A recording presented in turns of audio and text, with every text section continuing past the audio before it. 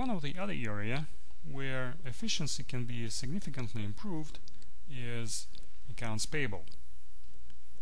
After a few trials and errors, we've come up to an Excel spreadsheet which can help accounting departments to stay on top of voucher entry processes.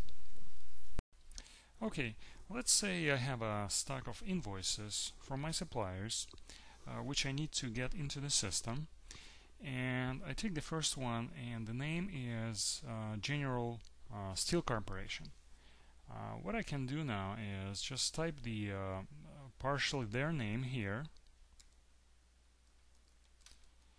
and I can hit uh, look up supplier button or just press uh, control L to and, and, the program brings me the um, suggestion basically there are two matches uh, in the system General Steel Corporation and the General Store so um, it's not necessarily the name could be in in the beginning of the name it could be somewhere in the middle or at the end. So I select uh, the first one, the uh, uh General Steel Corporation, and what happens, uh, the program actually brings uh, the last voucher, the distribution lines from the last voucher, and it populates them for me here.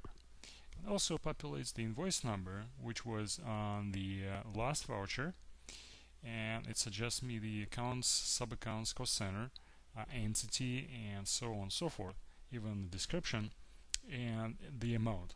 So uh, if it's a typical uh, invoice from uh, General Steel Corporation, then what I can do here is just the uh, change the invoice number and change um, description if I need to. of course, the date and uh, the amount. Uh, make sure it's it's different or it's it's new amount with the new um, uh, with the new invoice and I go I move to the next one so who's the next who's my next um, uh, supplier so let's say my next one is um, a company with the word supply in the name. So I just type uh, supply here and uh, hit control L. And the program brings me uh, all the uh, matches. So in this case let's say it was a top-notch supply company. And I just keep uh, moving them. Uh, make sure it's all you know description is correct. Um, I'll just put a test here and so on. So I'm going to make sure the amount is different uh, from my invoice and and um, the invoice number is is the new invoice number. And do it like this. And once it's all clean um, it's all done and clear then then I can do uh, upload so when I hit upload the the program actually uh, validates all the data from the spreadsheet uh, checks against the uh, uh, standard QAD logic, whether everything is clean and, and, and is good. And uh, once everything is okay, then it uploads this into, into MFG Pro into 28.1 menu.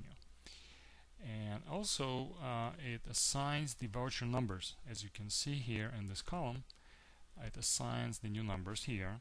So now if I want to um, browse uh, voucher from the system, uh, I can just step on any line um, of this invoice and hit the voucher uh, and make sure it's all the same same way entered into MFG Pro system and I can print it off if I need to um, similar way I can just uh, inquire about uh, supplier if I click on the supplier button it shows me uh, a supplier activity inquiry and just another uh, another screen to uh, useful to have. And that concludes this video. Thank you very much.